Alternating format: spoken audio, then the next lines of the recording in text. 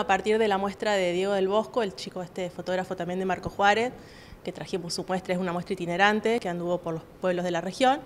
Eh, bueno, le propuse a Ariel traerla, o sea, hacer fotos de eh, mis fotografías que hago de naturaleza para cuando se inaugurara el ferrocarril y bueno, le metimos para adelante y acá están, acá está la muestra. Bueno, ¿cómo fue el proceso de selección? Porque imagino que tendrás muchas fotografías. ¿Qué, trataste de recopilar en lo que tenemos acá? Bueno, sí, la verdad que son muchísimos. Uno cuando se pone a ver las fotos son muchísimas fotos, pero bueno, me gustaba eh, retratar la eh, biodiversidad local, así que son todas fotos sacadas acá o en la zona, en las lagunas de la zona, eh, que tenemos varias, varias propuestas, sí, tenemos mucha variedad. Así que bueno, elegí las más recientes y, y bueno, este fue el resultado. Bueno, lo que vemos es que hay flora y fauna. Sí, sí, sí.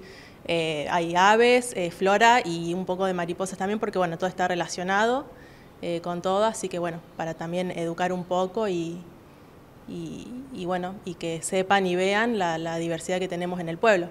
Bueno, la idea es que esto esté en exposición un tiempo determinado.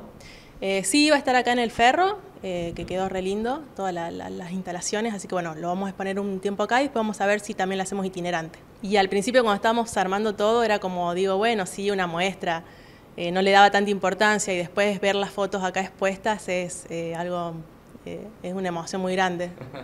¿Y qué pasa en cuanto a la búsqueda? Digo, ¿qué querés lograr fotografiando? ¿De alguna manera generar conciencia de los recursos, lo que tenemos?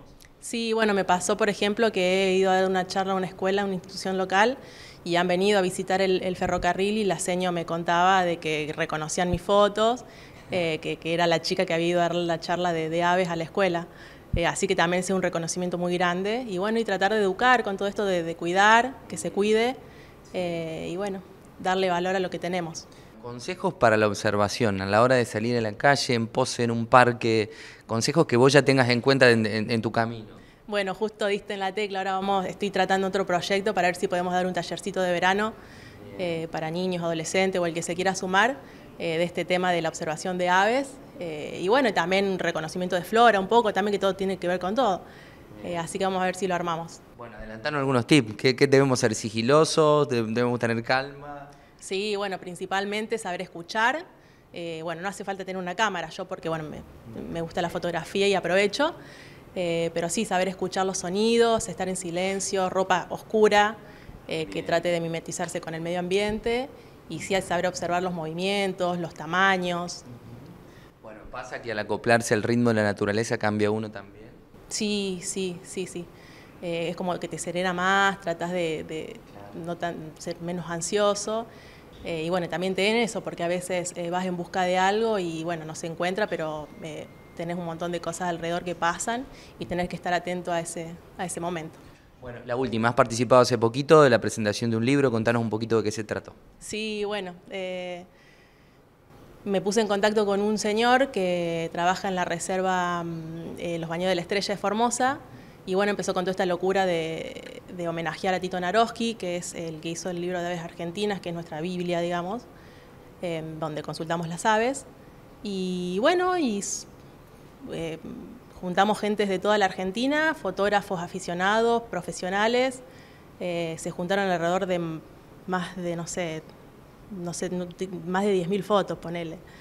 Eh, y mil fotógrafos, así que bueno, podemos juntar más de las mil aves que hay en Argentina.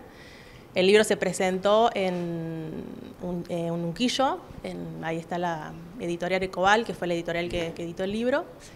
Eh, y bueno, y pudo ir Tito, así que bueno, fue una noche re emocionante, conocimos a Tito, me firmó los libros, eh, así que bueno. También lo que vemos en el centro son fotografías antiguas. ¿Formaste parte de este trabajo? ¿Cómo fue ese proceso de rescatar? Sí, bueno, estoy en el grupo de Facebook de eh, fotos en el recuerdo de pose, algo así, y me interesaba también que haya fotos de pose viejas, entonces ya que nuclear, o sea, todo el, proceso de, pueblo, digamos, de pose hasta hoy, eh, me junté con Marta Paris, que tiene un archivo bastante extenso en fotografía, y bueno, eh, tratamos de sacar, digamos, las, más relevantes del pueblo porque había muchísimas fotos de, gente, de personas, eh, familias, casas de familia. Bueno, un archivo muy extenso tiene re lindo, que también se podría hacer un archivo digital para guardar todo ese material de pose.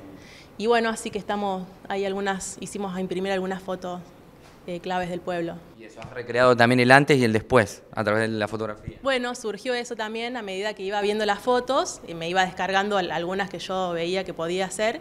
Entonces, bueno, eh, en los días sucesivos iba sacando las fotos y después hice la comparación. Sí, quedó, quedó re lindo, quedó un archivo muy lindo.